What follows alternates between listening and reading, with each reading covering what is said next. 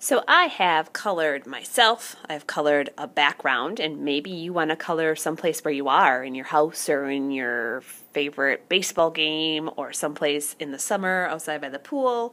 I even colored my phone case. I thought it'd be pretty cool if I had a splatter painted primary colored phone case.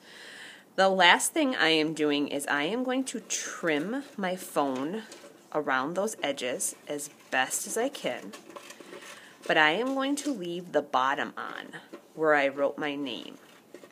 I would also like you to write the grade you're going to be in next year. So I'm going to trim a little bit more off that bottom. So for me, I'm not going to be in a grade next year, but if I, my name was Henry, I'd write Henry and then maybe fourth grade or fifth grade or whatever grade I'm going to be in next year.